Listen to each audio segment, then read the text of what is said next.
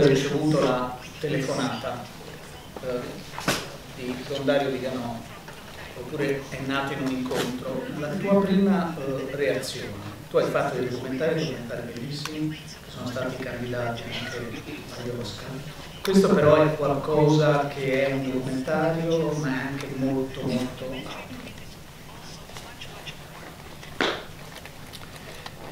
It wasn't a phone call. It was a letter that I received in December 2013. If you remember, if you remember, can you hear me now? You don't hear me? No, il microfono è aperto, quindi... Okay. Can you hear me now? If I go this close?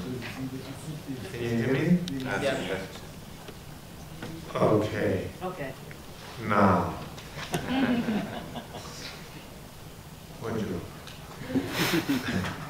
This was not a letter, this was not a phone call I received in 2013 in December, it was a letter.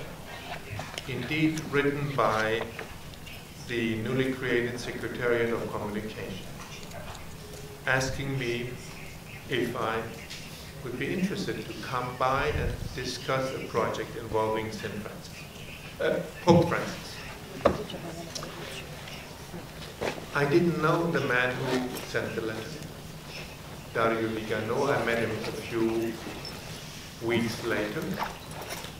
I realized he was a man who was very knowledgeable in cinema. He had studied cinema, he had written books about it.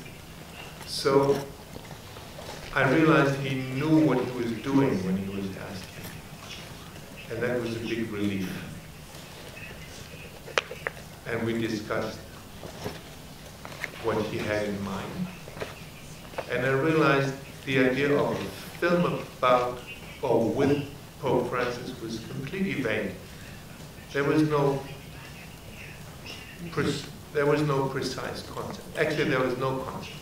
It was an idea, and the idea was, to me, the question was to me, can you imagine writing it? Can you imagine conceiving it, directing it, producing it?